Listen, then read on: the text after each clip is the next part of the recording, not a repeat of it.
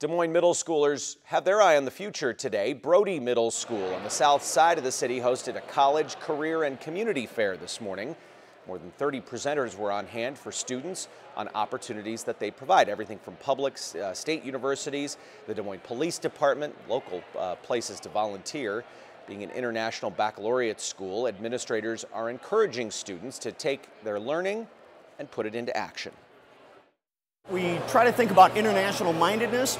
We want our students to realize that they are part of a larger network, a global community, if you will, uh, and to really start to think about what their place is in that, what part they can play in that, whether it's through college, whether it's through a career or some sort of community service. This is the second year the event has been held at the school. Still